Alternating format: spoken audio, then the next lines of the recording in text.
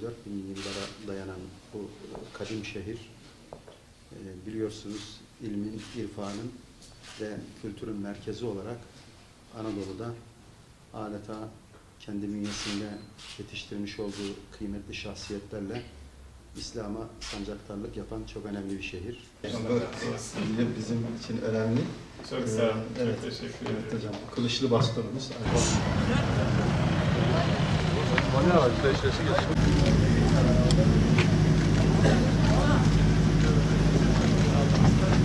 بسم الله الرحمن الرحيم.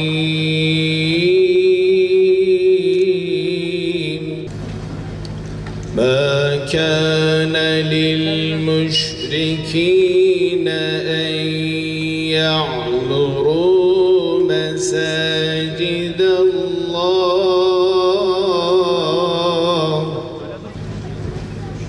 أن يعمروا مساجد الله شاهدين على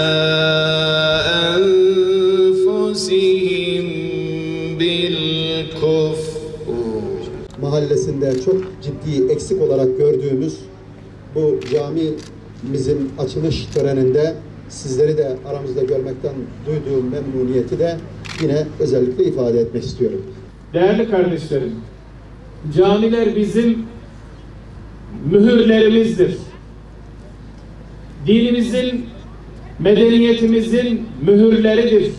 En büyük alameti farikalarıdır. İslam'ın görünür yüzüdür. Medeniyetimizin en önemli görünür yüzleri minarelerimizdir, camilerimizdir. İşte Bitlis beş minaresiyle milletimizin kalbinde yer etmiş, şiirlerimize, türkülerimize mührünü vurmuş bir şehrimiz. İslam şehri, İslam ile 1400 yıl önce müşerref olmuş bir şehir kıyamete kadar bu özelliğini devam ettirecektir inşallah. Hepimizin sayesinde, sizlerin sayesinde. Bu yüzden çocuklarımızı, gençlerimizi kalplerinde cami sevgisiyle, minare sevgisiyle, vatan aşkıyla, millet aşkıyla yetiştirmek zorundayız. Bu camilerimiz sadece namaz vakitlerinde açılıp namaz bittikten sonra kapanmak için yapılan mekanlar değil. Camilerimiz tıpkı Allah Resulü Efendimizin Medine-i Münevvere'ye hicret ettiğinde yaptığı ilk iş Mescid-i Nebevi'yi inşa etmek olmuş idi ve bütün diyanet hizmetlerini, din hizmetlerini Mescid-i Nebevi'den yönetmişti. Ve onun içinde Suffe denilen bir mektep yaptırmıştı. Ashabı o mektepte yetişti, camide yetişti. Hazreti Ebu Bekirler, Ömerler, Osmanlar, Aliler, Hazreti Haticeler, Ayşeler, Hazreti Fatımalar ve Müslümanların kızları, oğulları herkes ilk zamanlarda camilerde temel dini bilgilerini aldı.